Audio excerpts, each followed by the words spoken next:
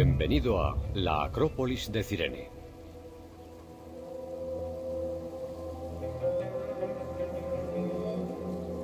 La Acrópolis de Cirene, situada en el extremo occidental, era más pequeña que la de Atenas, aunque su emplazamiento elevado le permitía proteger toda la ciudad.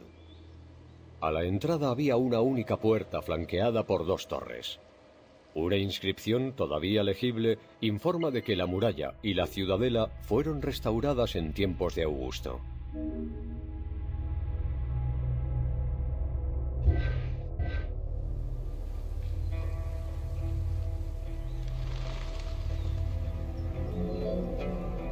En las excavaciones se han desenterrado un número importante de estatuillas, entre ellas una de Berenice, hija de Magas, rey de Cirene y hermanastro de Ptolomeo II.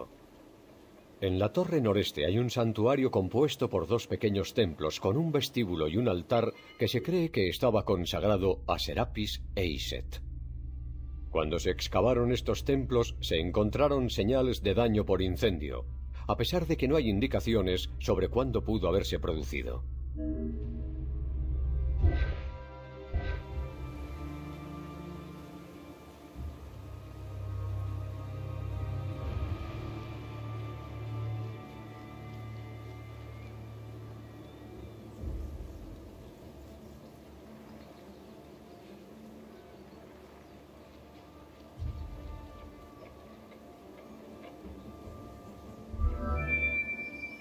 En el siglo XX se levantó una fortificación con el objeto de defenderse de un ejército invasor.